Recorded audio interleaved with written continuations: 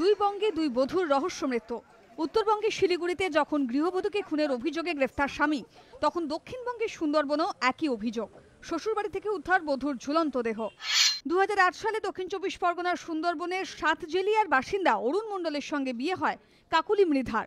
মৃতের পরিবারের অভিযোগ, বিয়ের বছরখানেক পর থেকেই কাকুলিকে টাকা আনার জন্য চাপ দেওয়া হতো। রাজি না হলে স্বামী, শাশুড়ি ও দুই দেওর গৃহবধূকে মারধর করতেন বলে অভিযোগ। এরই মধ্যে উদ্ধার বধূর ঝুলন্ত দেহ।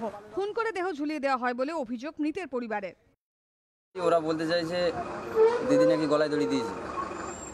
আমি তো ওখানে স্পটে গেলাম স্পটে গিয়ে তোমার মনে হলো না দিদি গলায় দড়ি দিয়েছে। তো তো তোমাদের কি মনে হচ্ছে? আমাদের মনে হয় শারীরিকভাবে মেরেছে মেরে গলায় দড়ি দিয়ে ঝুলিয়ে দিয়েছে। স্বামী সহ শ্বশুরবাড়ির লোকেদের বিরুদ্ধে সুন্দরবন কোস্টাল থানায় অভিযোগ দায়ের করেছে মৃতের পরিবার।